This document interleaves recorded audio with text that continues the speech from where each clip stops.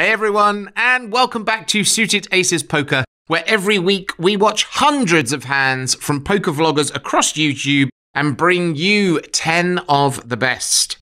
In this week's episode, we're at the horse races. There is a table full of poker vloggers and hands that you normally only see on the internet. Let's make a start. At number 10 this week, and Pokerface Ash is out of Arizona and playing in a 1 3 game at the Lodge in Austin, Texas. And this is a good lesson in always remembering to bet for value.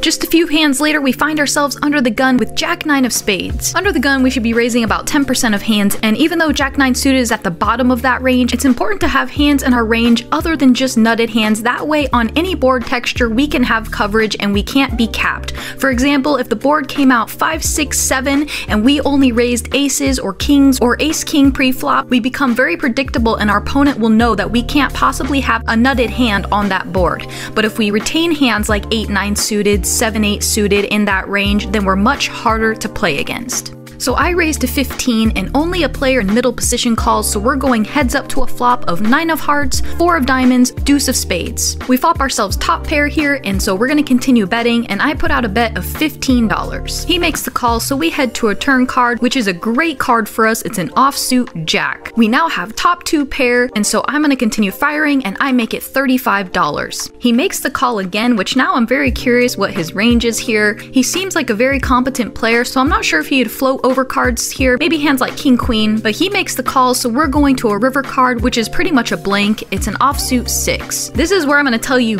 do not do what I did here, and I made a very, very costly mistake, and I, for some reason, decided to check. In the moment, I felt like I was trying to be trappy, but in actuality, when you have value at lower stakes games, just bet your hand because players are way more likely to make calling mistakes than they are to put out bluffs. so as played, I checked checked and he checked back and he showed Jack 10 offsuit and I missed out on some value there on the river because I decided to try and make an exploitative play, but in reality I should have just bet for value because I had top 2 pair on a very dry board. Even if he doesn't call, that's okay, but some of the time he is going to find a call there with a lot of his hands and so I felt like I missed out on some value. Number nine this week, and Mariano is playing at the Econo Lodge Casino down in Lake Elsinore, California. He's in a 5 10 cash game, and sometimes it's just too good to be true. In the next interesting one, I open pocket nines from early position to 50. There's a caller in late position, and then the straddler makes it 175. This guy had been playing really tight, so I assume he has aces or kings, maybe queens. Obviously, I make the call, and the player behind me calls as well. Three ways to a flop, which couldn't get much better. 988. Yeah. The Straddler continues with a bet of 250, and given that we're fairly deep, and I still think he has aces or kings, I choose to raise right away. I make it $750, and to my surprise, the player behind me calls the 750. So not only does it seem like we're up against an overpair from the Straddler, but also this guy behind me most likely flopped trip 8s. This is what you call a dream spot.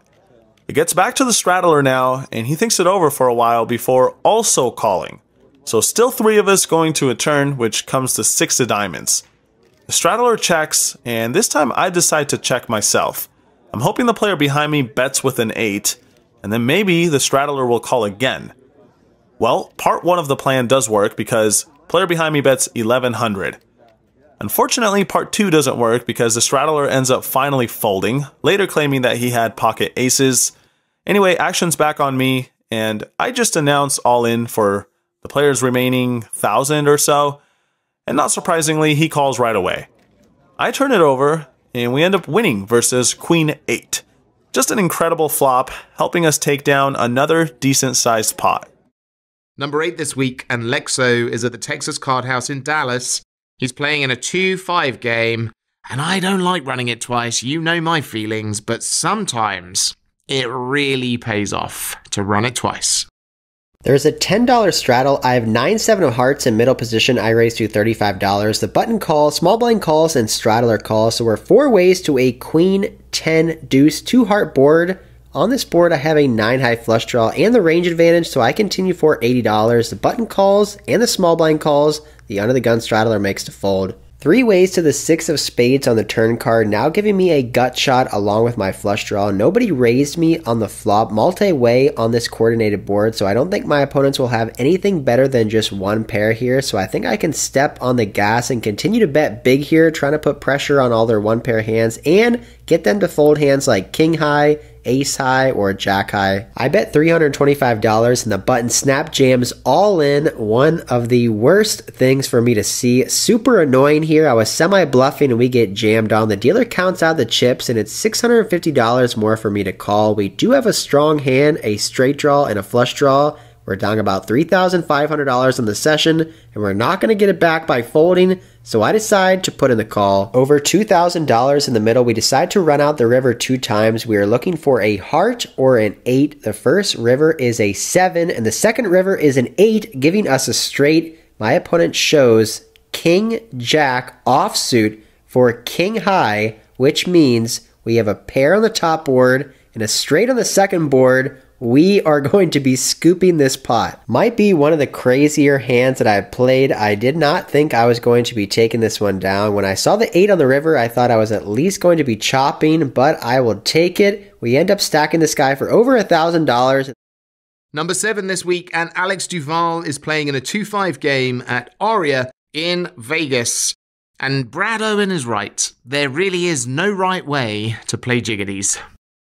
In the very first hand of the night, there is an early position limp for $5. The button calls and the small blind raises to $25. I have ace queen off in the big blind, and given the action, this is definitely going to be a 3 bet. I make it $90 and it folds back around to the small blind. Being 1k effective and my opponent covering, they decide to 4 bet to 250. In normal circumstances, this would just be a fold, but I had been at this table for a little while and I had been seeing this player get pretty out of line. My opponent will also know that I am 3-betting here lighter than normal because of the limps, which would of course encourage him to 4-bet lighter. We certainly can't call here, so it's either fold or jam. I choose the more aggressive route and I 5-bet jam all in for $1,000. All in. My opponent ends up calling, which is not what we wanted. I'm often just going to be dead here to queens plus, or in terrible shape against ace king. When the flop comes queen high, there is some hope, which quickly disappears as the turn is a king and the river is a 3, which changes nothing. I reluctantly show my hand and end up being good. Really was not expecting to win this one. My opponent must have had pocket jacks. In at number six, and Wolfgang Poker is at the Hustler in Gardena, California. He's in a 2 3 game here, and hang on for just a second. Are we at the races? What's up, my beautiful aquatic friends? This is Fish here doing the special commentary for this glorious hand that starts off with Wolfgang looking down at ace 3 suited on the button. There's one limper in middle position, and once it gets back to Wolfgang, he knows there's not going to be a lot of money in the pot, but he also knows he's on the button, and being on the button means he's in position, and being in position means that he has the power. Unlike Fish's parents, Wolfgang is not going to give up on this hand as he goes on and he makes it 10 bucks. Fish, aka me, is on the big blind, and it doesn't matter matter what two napkins I have, I could be looking down at two EBT cards and it didn't matter. Fish makes the call, the middle position player makes the call, and we're gonna go three ways to a flop of seven, six, seven with two spades. It checks around and we're gonna go on and see a free ace of spades on the turn, bringing in the front door flush, and now Fish decides to wake the F up and fire off a bet of 20 bucks. Middle position player gets out of the way, and I'm gonna go on and just make the call since my kicker doesn't even play at this point, and we're gonna go heads up versus Fish to see another seven on the river. Fish assembles off a wager of 45 bucks, to which I'm thinking whether it's a good idea to re-raise them because I've seen Fish's tail wagging this entire time. The only time I've ever seen Fish's tail wag this hard was when he was in line ordering tacos. Wolfgang goes on and decides to go with his gut instinct and only make the call, which was just great for him because I never skip leg day as I go on and show quads. Absolutely insane. We're up against two sets of quads in this video already. Once again, it's going to a good guy, but what is our luck here at our meetup game? Nice hand fish. He takes down that $170 pot, and we're stuck almost $700 on the session. Number five this week, and Ashley Sleeth is at the Wynn in Vegas in a $1,600 no limit hold'em tournament. And I always feel like I'm on the receiving end of hands like this.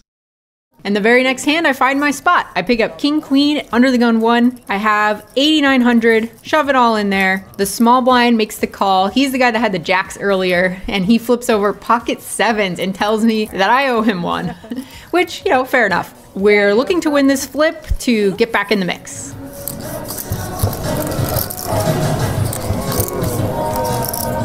Oh you lost the last one, so Now I owe more. who was what? Nice to win your flips. Number four, and our boy Ethan Rampage Poker is at the Seminole Hard Rock in Hollywood, Florida in a 1025 cash game. And exactly how many vloggers were at this table? One of the first hands right off the bat we get involved in, we have pocket fives in the cutoff playing seven handed. Our buddy Mariano opens it up to $75 on my right in the hijack. I decided to make the call with a good pair. In addition to that, our buddy Karan, who runs the Close2Broke channel in the Big Blind, calls as well. So just us three vloggers, let's see a flop here. The flop comes Queen 8-8 Rainbow with one club. Action checks to me here. It's surprising to see Mariano checks here. Certainly could go between a bet or check back, and I decided to just check this one back. The turn is now the 8 of clubs. So now improved to a full house. Mariano starts with a bet of $75 now, and onto me, got a full house. As played here, folding would be a sin, so I'm in here, and Karan folds. We're off to a river, which is a 7, pretty much inconsequential as played. And now Mariano decides to bet again, and he sizes up to $300. Initially, here, I certainly just want to fold. He's a strong player who certainly can have a lot of value and check strong hands on the flop. But the more I think about it, there are definitely a lot of bluffs that he'd play this way. Hands that surround a queen or even a turned flush draw like king jack, king queen, even ace jack might play this way. So anyways, what I'm trying to say is that folding is certainly boring. I make the call with pocket fives and a full house. He flips over king jack off suits and fives will take it down. Happy to make the right decision here at this point, and it's nice to start off this cash session with chips being pushed my way. Top three for week nine. And at number three, Wolfgang Poker is playing in the Rockford Charitable Games in Chicago, Illinois, in a 1 2 cash game. And I don't know about you, but is anyone folding aces in this situation? Wrapping up the session here, we got one more pocket pair to report on. We look down at the pocket nines, the nueves, and I raise it up to $12. Small blind now re-raises us up to $35, and that's going to bring in the big blind. Of course, I'm not going anywhere, and I don't think a re-raise makes any sense here with my exact hand, so I find a call, and we're off three ways to a flop, which comes king, seven, deuce, rainbow. Obviously, having second pair on this board is not ideal, but it's also not the worst situation. Small blind bets out for $40, and when the big blind gets sticky and puts in the call, I think this is a great spot to put in the call as well. Small blind could just be representing a king and doesn't necessarily have to have it. A 9 could peel off on the turn, which would be pretty sneaky, and if you did have a hand like ace king or king queen, we're going to get the maximum. Additionally, we could just have the best hand here, so I put in $40 and we're off still three ways to the turn. 225 out there, and the turn not ideal. That comes the queen of hearts. If he didn't connect with the king on the flop, this queen is going to hit his range pretty hard. So when he bets out for $80 and the big blind puts in the call as well, sad to say, I'm done with the hand. The nueves are obviously no good here. I muck my cards. But let's play out the rest of the hand to see what happens because it's definitely interesting. The three of hearts peels off on the river. Small blind rips it all in for 250 and the big blind goes into the tank but then mucks face up pocket aces on that board. I'm never folding in that situation. And uh, one of the reasons why you probably shouldn't be folding pocket aces is because the small blind turns over the exact same hand. Pocket aces versus pocket aces. Got him off the chop there, and he's going to get rewarded with that nearly $400 pot. Number two this week, and Lex O is back at the Texas Card House in Dallas. He's in a 5 5 cash game, and oh no. Sometimes it's just so painful. Next hand, I'm going to blur out my opponent's hand so that you can sweat the action with me. I make it $50 with queen 10 over a limp. The button calls, limper calls. We flop top pair. I continue for $125. The button calls, limper folds. The turn is the queen of spades, giving me top two pair. Finally, after a couple hours of basically nothing, we make top two pair make a pretty big hand here. I decide to bet $425, a pot size bet. I want to be betting this big with all my value hands and some of my big draws like King Jack, Ace King of Diamonds, Ace Jack of Diamonds. My opponent on the button decides not to call, but put in a raise. He raises it up here to $1,000. So immediately, I don't feel the best about this situation. The reason why is that the button player really has not been playing many hands. He's been playing pretty passive all night. I haven't seen him bluff once. I haven't seen him really get out of line. A couple times he flopped the nuts and bet. So now I feel like I could be getting coolered against fours or fives. Maybe he has a hand like King Queen of Diamonds, Ace King of Diamonds, Queen Jack of Diamonds, but would he really raise that hand? I feel like he would just call. One important thing to note here is the button only has $1,200 left, not too much money to bluff me with on the river if he is bluffing here, which means he's probably leaning more towards value hands. However, we have top two pair. There's no way I'm going to be folding. The question is, should I just rip it all in or should I just make the call?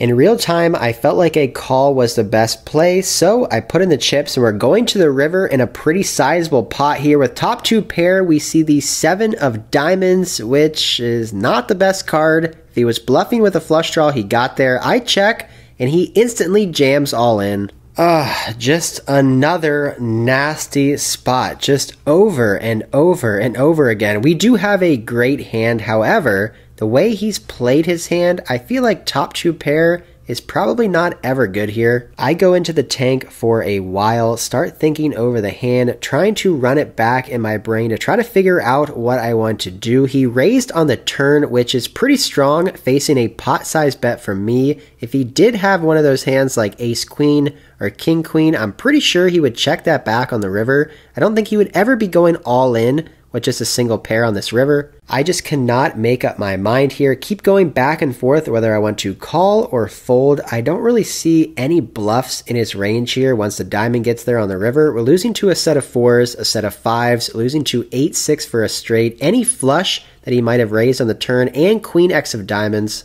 While I'm thinking over my decision, I want you guys to pause the video, go down into the comments and tell me what you would do before you see the results. I want you to pretend like you're in the situation with me. Would you call here with top two pair or would you make the hero fold? After tanking for over two minutes, I let this one go, and the button shows the Queen of Diamonds, and he has the King of Spades for just top pair. I'm not sure if he was bluffing here or value betting. I have no idea what the hell just happened in this hand. And at number one, for the third time this week, Wolfgang Poker is at the Hustler in Gardena, California. And to me, this hand just feels like a hand you'd play online. We then look down at Jack 8 of clubs from the cutoff, few limps over to me, and I raise it up to $15. Obviously, you can see some of the beers are going to my head here. We're opening Jack 8 of clubs, but it's my meetup game and we're trying to have some fun. We end up getting two callers. We're off to a pretty favorable flop when it comes Ace 7 4 with two clubs. Not only are we going to have some range advantage on this board, but we do have a pretty strong hand if a club can peel off on the turn or river. I bet out for $15 and both players put in the call. And we're off to the turn, which is the 3 of clubs. Bang! we turn the flush. Bang! Betting out for $50 seems like the move. I want to get value against any other ace. Maybe a king or queen of clubs might now pay us off for another street of value. The big blind puts in the call and the middle position player does as well. Not really sure what they have in the hand, but we're still three ways to the river, which is a pretty bad card. It comes the deuce of clubs. Now a queen or king of clubs has a speed and the five of clubs has a straight flush. Big blind now rips it all in for $180. The middle position puts in the call and the action's over to me. Am I ever good here with my jack high flush? I just don't think so when it goes all in and a call for middle position. One of them has to have a queen or king of clubs, and one of them might have the coveted five of clubs for the nuts. So I muck my cards face up. Middle position shows the king of clubs, and what does the big blind show? Pocket fives with the five of clubs. He has a straight flush versus the king of clubs. What a gnarly hand here. $605 going his way. We're stuck 780 on the session, but we are seeing some absolutely insane hands here at the meetup game. Yes, indeed, folks. These hands do happen when you're playing live too. Ugh. Well, that's it for this week. We hope you enjoyed it. Don't forget to like and subscribe. Let us know what you think in the comments. And as always, if you've seen a hand that you think should make 10 of the best, let us know. Put a link in the comments and we'll see if we can feature it in a future episode. Until next week, thanks for watching. Good luck at the felt.